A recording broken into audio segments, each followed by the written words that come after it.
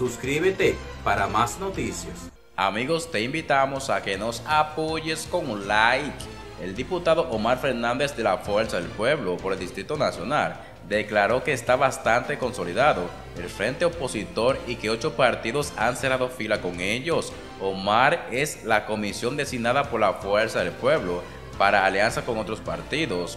Entonces, en ese sentido, cree que el frente va avanzando bastante bien, acotó. Señaló que son organizaciones con las cuales no solo tengan alianzas municipales y congresuales, sino también en el nivel presidencial.